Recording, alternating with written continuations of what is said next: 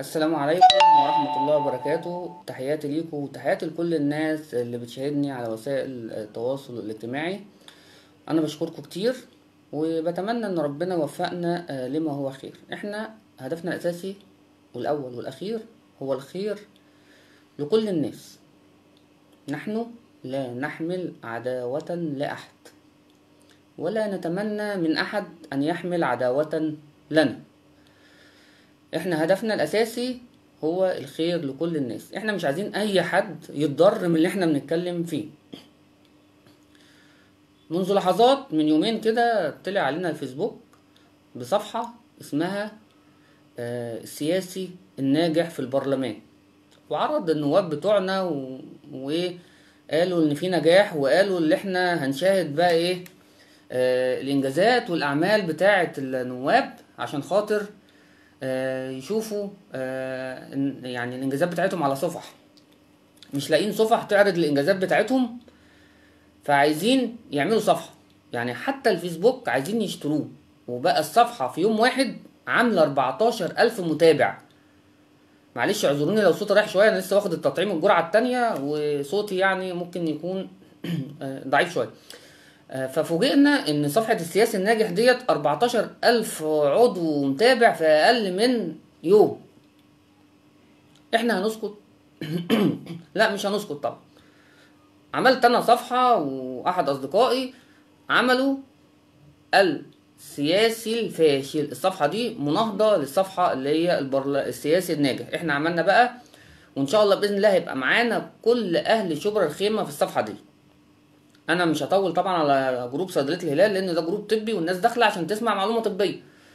فأنا كان لازم أنقل الأعضاء اللي هم مهتمين بالسياسة للصفحة التانية اللي هي صفحة السياسي الفاشل في شبرا الخيمة. فكان هدفنا اللي إحنا نوضح للناس الفشل. ما هو إحنا ما حدش يزعل مننا. الناس بعتلنا وبتقولوا لنا خلي بالكوا الناس زعلانة منكوا والبرلمانيين في شبرا الخيمة زعلانين منكوا وممكن يعملوا حاجة. لا يعني أنا بقول لأصدقائي ومعلميني وأحبابي البرلمانيين كلهم أنا يعتبر قعدت مع معظمهم واتكلمت مع معظمهم لا يوجد بغضاء بيني وبينهم. بالعكس أستاذ محمد عبد العزيز شخصية محترمة. أستاذ أشرف أمين شخصية محترمة. النائب مجاهد نصار شخصية محترمة. والناس دي مفروض تفرح اللي إحنا بنوضح لها السلبيات. ما إحنا مش هنطلع آه، نطبل ونزقطط ونقول لكم إلى الأمام وإنتوا آه، عاملين اللي عليكم. دايما لما تلاقي حد يقول لك أنت مقصر اعرف اللي هو بيحبك. فأنا بحبكم. عشان كده طالع أقول لكم آه، اللي أنتوا آه، مقص- مقصرين. مقصرين في حق أهل شبرا الخيمة. بعيدا عن الانتخابات وبعيدا عن وصولكم لكرسي البرلمان وبعيدا عن المميزات الجميلة اللي أنتوا أخدتوها من كرسي البرلمان إحنا بنطالب بحقوق بسيطة. مش هطول عليكم النهارده عشان خاطر أنا كان غرضي إن أنا أطلع أتناقش في مشكلة سوق الحد. ناس طالعة بتقول لنا أنتوا البرلمانيين مالهم والنواب مالهم ما النواب قدموا وقالوا وعادوا. طب إحنا عايزين نوضح للبرلمانيين دولت ان في ضرر واقع على الناس اللي هناك اللي هم مش مستفيدين من سوق الحد. في ناس مستفيدة من سوق الحد بعض الناس بياخدوا اتاوه من الناس اللي فرشة قدامهم. ما انت ما تفرش قدام بيتي وما اخدش فلوس. دي بعض الناس اللي هي ليها مصلحة ان سوق الحد يفضل مكانه. الحي بيوزع كوبونات زي ما أنتم شايفين كده ولا عليها اسم ولا سن ولا عنوان وبياخد من الناس اللي قاعدة 20 جنيه منهم اللي بياخد وصل ومنهم اللي ما بياخدش وصل فالموظف بيسترزق والحي بيسترزق. فما تجيش تقول لي إن اللي سوق الحد؟ هسمع كلامك. طب البرلماني هطلع انقل سوق الحد؟ ده كذا سوق الحد ده تحت بيتي. أنا برلماني أعرف برلماني وسوق الحد ده الناس فرشة تحت بيته. هطلع أقول لهم امشوا عشان الناس تقوم وتيجي عليا وتقول لي انت قومتنا انت قطعت عيشنا إحنا وإحنا وإحنا. لا يبقى الحال على ما هو عليه وعلى المتضرر اللجوء للقضاء. طب أنتوا مقصرين. أنتوا كنواب مقصرين في حقنا. أنتوا قدمتوا الطلب وما تبعتوهوش زيها زي أي مشكلة بنطلع نعمل عليها بروباجندا بنوضح الصور بتاعتنا بنقول للناس في مشكلة عند مسجد السلام لغاية منطي أو آه، متحالفه أو متنمه في سوق حد معمول عامل إعاقة لبعض الناس اللي ساكنة هناك من عدم تنقلات خلال هذه اليوم. ده الناس فرشه جوه الشوارع الداخلية مش الرئيسية فقط لا غير. أصوات مزعجة في ناس مرضى ما بتستحملش الأصوات المزعجة دي. في دخان بيطلع بعد السوق ما بيخلص وكمان آه، ناس عندها حساسية صدر أطفال فمتضررة. في هناك وحدة صحية اسمها وحدة جامع السلام. في ناس عايزة تروح في سيدات عايزة تروح آه، في وحدات كشف في حاجات كتير. يا ريت الناس اللي بتسمعني لو تقدروا تشيروا المنشورات ديت على الصفحات بتاعتنا عشان الناس تشاهدنا وصوتنا يقدر يوصل لأكبر جهة في البلد. إحنا عايزين صوتنا يوصل لرئاسة الجمهورية أو على الأقل صوتنا يوصل لرئاسة الوزراء أو على الأقل صوتنا يوصل لمحافظة القليوبية أو على الأقل صوتنا يوصل لأعضاء برلمان شبرا الخيمة أو على الأقل صوتنا يوصل لرئاسة حي غرب شبرا الخيمة. إحنا أو باسم الناس اللي النهارده نزلنا الصور بتاعت سوق الحد إحنا متضررين من سوق الحد لأسباب كتير. عامل إعاقة مرورية شديدة جدا جدا جدا. فلا ضرر ولا ضرار. أنتوا مش عشان تستفيدوا وتجمعوا أكتر من ستين ألف في يوم زي كده تعملوا ضرر للناس اللي ساكنة هناك. طيب ناس طلعت بقى فلي يعني فلاسفة وانتوا نواب يعملوا لكم إيه؟ والبرلمانيين يعملوا لكم إيه؟ أنتوا عايزيننا آه نعمل آه زي ما الأستاذ محمد عزيز قال إحنا اضطرينا اللي إحنا نعمل كأعضاء آه في المحليات وننزل الشارع ونشوف مشاكل الناس. طب أنتوا كبرلمانيين عجلوا بانتخابات المحليات عشان نوفر عليكم التعب دوت. ما عملتوش دوت قوموا بدوركم. في عندكم مكاتب عمل في ناس عندكم أنتوا معينينها مديرين مكتبات مكاتب. الناس ديت كل همها المصلحة الشخصية. طيب ما ينفعش وانتوا بتاخدوا المصلحة الشخصية من النائب تعملوا حاجة اسمها المصلحة العامة للشعب عشان خاطر الناس تفتكركم بحاجة كويسة؟ ينفع. ما أنا لما مدير المكتب ينزل ويتكلم من سوق الحد ويشوف المشكلة ويتناقش مع السكان طب هنعمل إيه؟ طب الحكاية؟ طب إحنا في حل؟ آه في حل يا جدعان. إحنا دلوقتي النواب كلها قدموا طلب للمحافظ و... أو لمجلس الشعب وقال لهم إحنا هننظر فيه خلال شهر أو خلال يعني فترة قصيرة. والطلب اتضرب في المكتب. طب إحنا بقى كدورنا كبرلمانيين إحنا لينا كلام أكيد مع المحافظ وشفنا المحافظ ربنا يرجعه لنا بالسلامة وليه نائب هو تعبان شوية من دول ربنا ألف سلام عليه. آه في نائب للمحافظ. ممكن أنا كبرلماني آه زي أستاذ مجاهد نصار أعمل اتصال هاتفي وأقول لنائب المحافظ أنا إن شاء الله بإذن الله هجيلك في زيارة بخصوص الحد.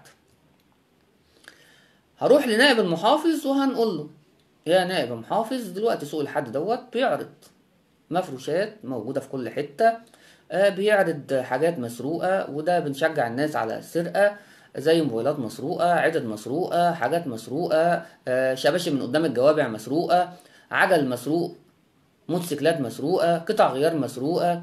طيب في ناس بتاكل عيش ما فيش مشكلة. طيب إحنا هنعمل إيه مؤقتا كده عشان نحل الموضوع ده في حاجة اسمها شرطة مرافق ونائب محافظ هنقعد نتكلم معاهم. إحنا العائق المروري بالنسبة لنا بنسبة 90% لغاية الهايبر اللي معمول هناك عند جامع السلام.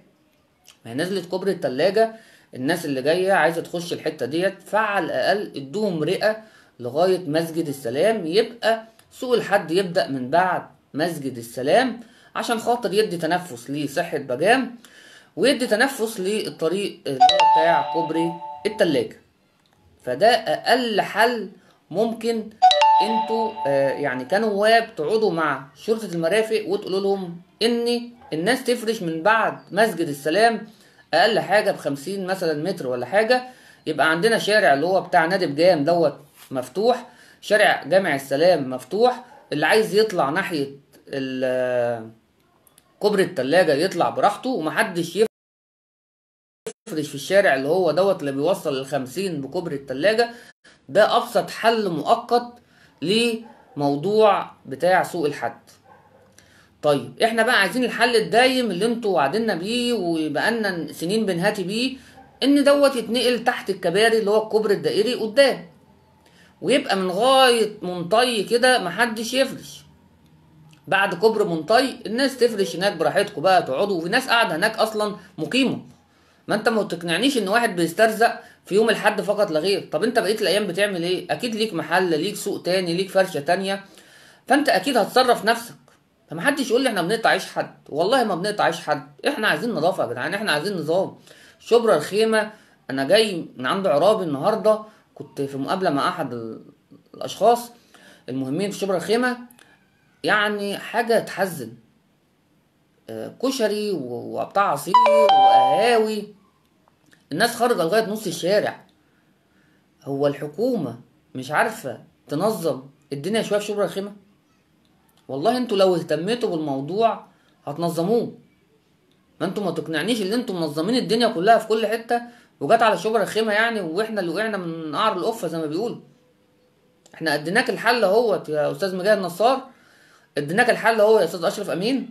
اديناك الحل اهو يا أستاذ محمد عبد العزيز الحل المؤقت اللي الناس تفرش من بعد مسجد السلام كده من عند إبراهيم الدسوقي واديناكم الحلول المؤقتة والحلول الدائمة. اهتموا شوية. إحنا بنطلع نقول لكم السلبيات عشان خاطر إحنا بنحبكم ما بنكرهش حد. فمحدش يجي يقول لنا إن الناس دي هترضيك محدش يجي يقول لنا الناس ديت هتعمل لك مشكلة. مفيش الكلام ده خالص. إحنا بنقول لكم كده عشان خاطر إحنا بنحبكم. أنتوا عايزين تأذونا؟ اذونا مفيش مشكلة. بس يوم ما تأذونا هتلاقوا شبرا الخيمة كلها طالعة بتقول لكم إحنا مع الدكتور حسين. أنا عارف كويس أنا بعمل خاطر لكل الناس وأنا بعمل كده عشان خاطر الناس. أنا ولا ليا مصلحة شخصية ولا ليا أي حاجة. يعني أنا ما جيتش قلت للناس اللي عرضت عليا اللي أنا أقعد معاها ما قلت لهمش أنا عايز مصلحة شخصية. يعني أنا عايز المكاتب كده تطلع تقول الدكتور حسام طلع قال أنا عايز مصلحة شخصية عشان أسكت. الدكتور حسام إحنا نعينه مدير مكتب مش عارف آه، نائب مين عشان يسكت. الحمد لله. أي حاجة من دي كلها أنا مرفوضة تماما وعمري ما قلتها ولا عرضتها ولا هعرضها. إحنا عايزين تعاون. تعاون اتصال اهو. أنا بطلع أقول لكم المشكلة وهطلع أقول لكم حلها. عشان ما حدش يقول إن إحنا بنعمل مشاكل وبنعمل بروباجندا على الفاضي. فإن شاء الله بإذن الله يا ريت الناس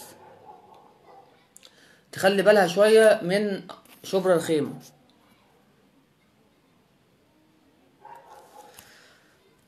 منة الله بتقول في شاب محتاج عملية عظام.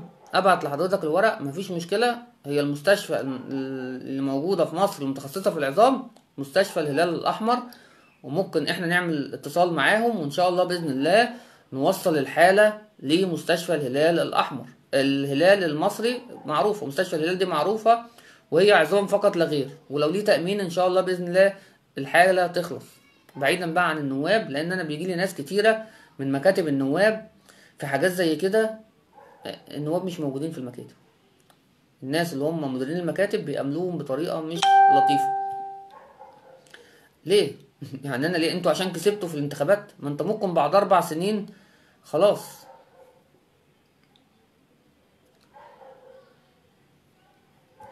ماشي هو طلبوا منه 16000 هو بيعمل بيهم قرار هناك في مستشفى الهلال وهي العملية بتتعمل على حساب الدولة. دي معروفة جدا جدا جدا.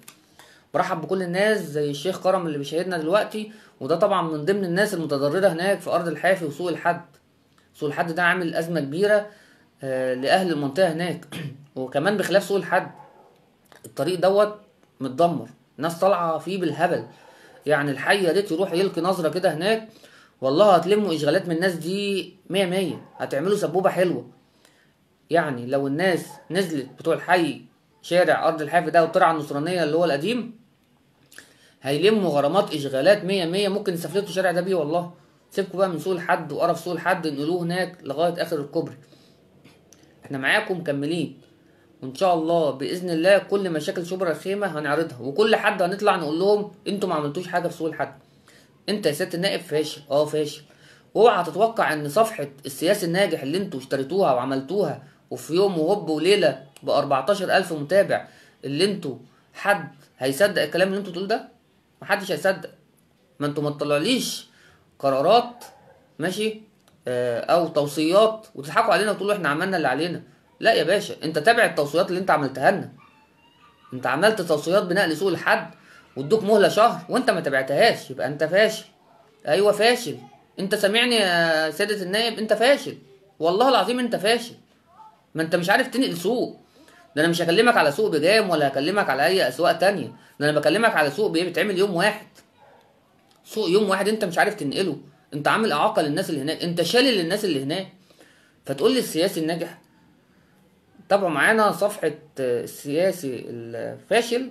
في شبرا الخيمة إن شاء الله بإذن الله هي اللي هتعرض لكم الحقيقة. سيبكم من الناس اللي بتطبل لكم والله إحنا بنحبكم عشان كده بنطلع نقول لكم أنتوا فشلة يا فاشل يا فاشل يا فاشل. تحياتي ليكم وتحيات كل الناس اللي بتشاهدني مش هطول عليكم.